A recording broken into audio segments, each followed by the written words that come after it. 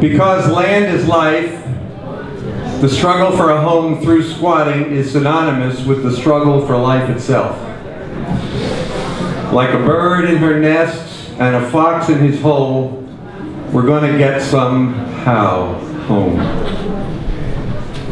Back in the mid-1980s, Kathy, Robin, English Steve, Alita and Dakota, Scott and Julie, Kelly, Big Paula, Little Paula, Myron and Carla, Peter Spagnola, Matt, Marta, Kenny and Marissa, Dead Frank and Baldo, Michelle Schacht and Baby Rosario, Isabel and Sarah and Deb and Aaron and Fly and Alpha and David and Rolando and the Castrucci brothers, Mark and Ralphie, and hundreds more made a decision to struggle for a home, to struggle against the bone-chilling freeze of empty, windy, and rain-soaked, oftentimes roofless, rat-filled, derelict houses without juice, without permission, and made something out of nothing.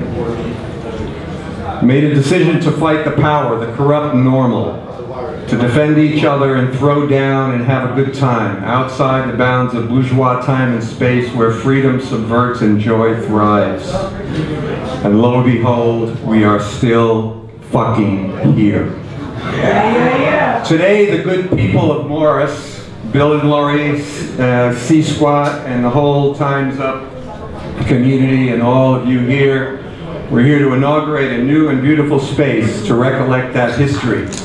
The LES squad history and all the diverse radical history associated with the scene here, which is a continuation of the radical history of this neighborhood, the Lower East Side, Loisaida, the place I am proud to call my home from the days when I was a kid living on 12th Street and Avenue D in the Jacob Riis projects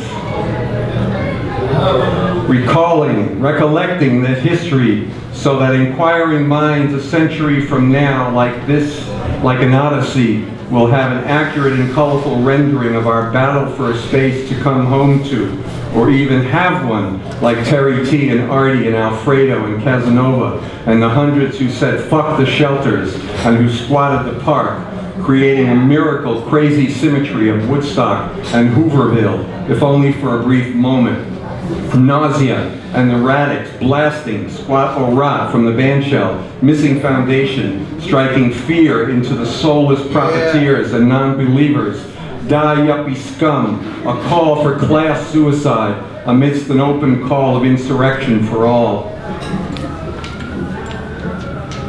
What an adventure. Sipping tea at 545 13th Street with Ginsberg, who loved the squats, Chess with Yuri on his roof, Drucker beating the drum, Kurt blowing his horn, John McCamey blowing his, Seth's virtual tank bowling over the Keystone cops, who I'd seen many years earlier running up Avenue B with a thousand bottles flying in the summer of 88, just like Jerry's flyer predicted. Cops sprinting just ahead of punks and Puerto Ricans, blacks and squatters, homeless poets, Later, squatter women and men, unwitting models for fashion and rent, the play, and stomp, our metal jams.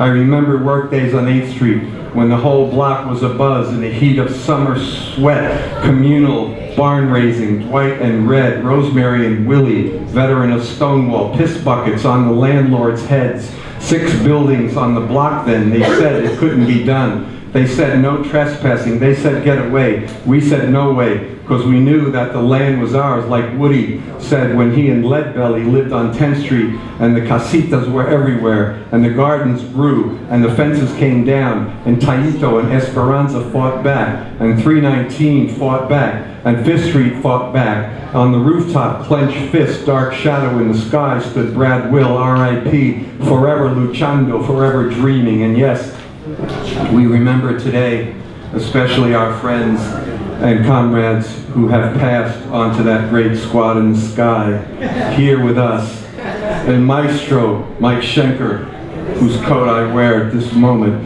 whose squatter opera you should hear, definitely hear his squatter opera. Squapra. Right, Squapra. And our beautiful African brother, and our beautiful African brother who's passed, Ruda, the fearless, wiry, wired, and rowdy Rex, the poets Ricardo and Sinan, Bimbo and El Coco que Habla, whose poetry re reverberates through outer space still, who all live in these bricks, who walk these streets still. Yes, some kind of history, but mostly the feeling of weightless soul in flight in airy, vacant spaces. Dirty, gritty, saintly bandits free, skating on a canvas all our own, renovating our spirit, an almost inexpressible real living post-capitalism in the now. Yeah. And we're still making history. We must. That's right. Because we got to keep actualizing the human right to a home through squatting some more. All the vacant houses sitting a few blocks down from those displaced by Sandy.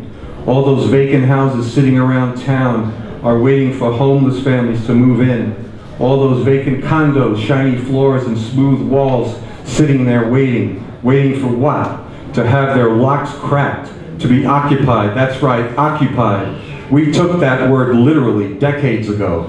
So now, the 21st century squatters must be born, and like weeds spread unstoppable all over the country, in those dozens of shrinking cities where mass abandonment was threatened by mass demolition.